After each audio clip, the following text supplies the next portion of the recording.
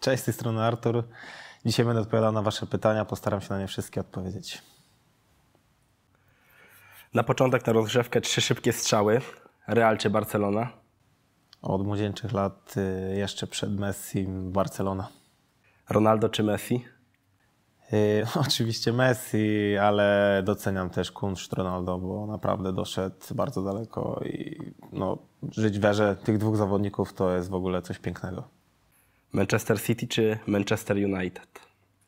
No ze względu na Pepa to City. Jakie to uczucie, gdy dajesz wygraną swojej drużynie, strzelając bramkę w ostatniej akcji meczu? No jest to cudowne uczucie. Wiadomo, miałem szczęście to przeżyć. E, Nie do opisania tak naprawdę, bo jest e, milion emocji w tym czasie. E, W ogóle bardzo fajna historia wiąże się też z moim wejściem na boisko i ze strzeleniem bramki, bo przed wyjazdem na mecz do Krakowa Zdzisiu, nasza legenda, się z nami żegnał. I zapytałem się go żartobliwie, czy, czy wejdę w końcu na boisko i czy zagram. A on mówi, tak, słuchaj, kochany, wejdziesz, zagrasz i strzelisz gola. I, po meczu wszystko się sprawdziło tak naprawdę i to dodaje takiego smaczku tej historii i mojej bramce. Kolejne pytanie. Bardzo podobne. Warto było czekać na taki debiut w Ekstraklasie w Radomiaku i jak zareagowała Twoja rodzina? Warto czekać, zawsze warto czekać i ciężko pracować. Też z tych e, smutniejszych rzeczy myślałem, że dużo wcześniej wejdę na boisko i pomogę kolegom, ale trener nie dawał mi szans, ale kiedy już wszedłem i strzeliłem gola i pokazałem na co mnie stać, to naprawdę wszyscy z rodziny gratulowali mi, z przyjaciół i, i naprawdę wszyscy byli, odzew był bardzo duży i cieszę się bardzo z tego.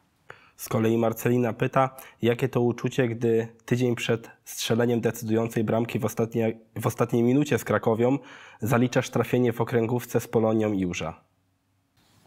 Nie ma to dla mnie jakiegoś wielkiego znaczenia. Mecz to mecz dla mnie. Tak samo jak tydzień wcześniej strzeliłem gola, tak samo po strzelonej bramce następnego dnia pojechałem na rezerwy i zagrałem 90 minut z, Z Mocikiem Radą. Z Młodzikiem Radą. Dla mnie to jest jako trening, jako forma mojej pracy i, i wywiązuję się ze swoich obowiązków po prostu. Artur pyta, jak obecnie czujesz się w Radomiaku? Bardzo dobrze. No, co mam powiedzieć? No, jest to klub, w którym jestem już półtora roku i atmosfera jest super, wyniki są, więc y, wszystko jakby sportowo się spełniamy, zawodowo awansowaliśmy do ekstraklasy, więc no, nie ma na co narzekać jak na razie. Natomiast Patryk, jaki jest Twój cel na ten sezon? Cel na ten sezon mój, zagrać jak najwięcej minut na pewno i zająć jak najwyższe miejsce w tabeli i jak najwięcej liczby w meczach zrobić. Rozpocząłem tą moją już tabelkę, więc y, oby było więcej tych liczb. Kolejne pytanie.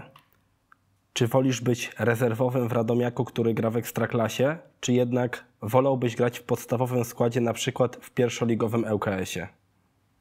Hmm, ciężkie pytanie, bo tak jakby jedno i drugie się ze sobą komplikuje bardzo. Nie po to robiłem awans do ekstraklasy, żeby potem wracać znowu na zaplecze ekstraklasy. Yy, Chcę walczyć o pierwszy skład tutaj w Radomiaku i walczę o niego bardzo mocno, ale jeżeli nie będę jakby spełniony zawodowo, to będę musiał szukać gdzieś indziej miejsca, czy to będzie pierwsza liga, czy inny klub, czy nawet jeszcze niżej może. Pytanie od Damiana. Jak Ci się mieszka w Radomiu? Dobrze. Kiedy przyjechałem do Radomia, to akurat był lockdown w zasadzie wszystkiego i za bardzo nie było gdzie wychodzić, więc zwiedzaliśmy okolice Radomia, a tak to bardzo dobrze mi się mieszka.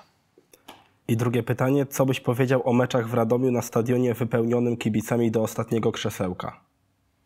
No jest to wspaniałe uczucie, widząc kibiców, bo też robi, robiliśmy awans w pierwszej lidze, to stadiony były pozamykane, nie było kibiców i nawet widać teraz na tych meczach w Ekstraklasie u siebie, jaką robimy przewagę, kiedy są kibice, kiedy gramy u siebie, jaką twierdzę stworzyliśmy tutaj. Podobne pytanie od Tomasza, bo też o fanów naszej drużyny, czyli co sądzisz o zielonej rodzinie i o kibicach Radomiaka? No, co mam powiedzieć? Jest to wielka armia zielona, która naprawdę wspiera wszystkich. y, Tutaj nas, klub i zawodników. Y, Także dziękujemy, że jesteście po prostu. Gdzie się lepiej czujesz? Na twojej nominalnej pozycji, czyli boku obrony, czy jak to nazwał Rafał, nowej pozycji, czyli jako skrzydłowy? Grałem już jako skrzydłowy, więc nie jest to jakaś moja nowa pozycja. E, Gdzie się lepiej czuję? Nie wiem.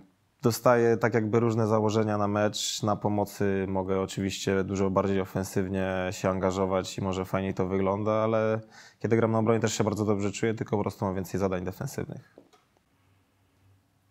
Gdybyś miał wymienić najlepszego piłkarza, z którym trenowałeś w jednym klubie w seniorskiej piłce, to kto to by był?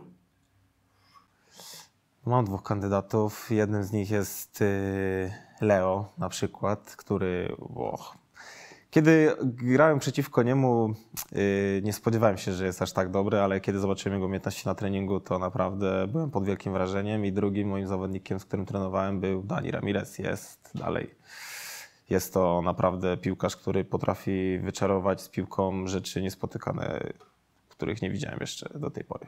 I ostatnie pytanie od Wojtka. Kim byś został, gdybyś nie grał w piłkę i czy myślisz powoli o tym, czym się będziesz zajmował, gdy zakończysz zawodową grę? Kim bym chciał zostać? Och, moje drzewko umiejętności jest rozłożone na milion po prostu gałęzi i to jest najśmieszniejsze, bo jestem po prostu dobry w wielu rzeczach i sam jeszcze nie wiem, w, co, w którym kierunku chciałbym iść. Muszę się naprawdę mocno nad tym zastanowić. E, czy powoli myślę? Myślę już powoli, ale jeszcze nie chcę nic mówić, e, nie chcę zapeszać. A kim byś został, gdybyś nie grał w piłkę? Czy myślałeś kiedyś? Nie wiem, kucharzem, piosenkarzem, tancerzem, w ogóle naprawdę wszystkim, czym by się dało, można się... Z... Dzięki za Wasze pytania. E, dziękuję, że się zaangażowaliście w to i do zobaczenia na stadionie.